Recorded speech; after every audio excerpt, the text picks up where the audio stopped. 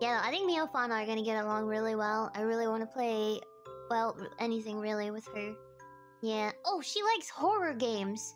This is another thing that was making me mad because YouTube was eating my comments. I could not get a single comment to show up, and I was, I was so upset. But remember when Fauna said in her debut, she was like, "I really like horror games, but I'm really scared, and I really need somebody to hold my hand." But I'm a bit of a baby when it comes to horror games. I get scared, so I usually need someone to hold my hand. And you bet, you bet, I was.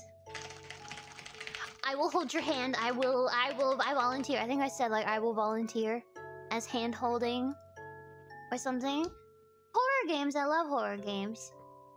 Oh, is YouTube is YouTube dying? I'm so sorry. Oh no, you're talking about the comments. Yeah, I was a little frustrated about that. Um, but I hope she knows that I am more than happy to. I don't know if she needs help or anything or recommendations for horror games. I may not have the best recommendations, but um, like I said, yeah, I'm more than happy to help if she needs company. That's really loud again, isn't it?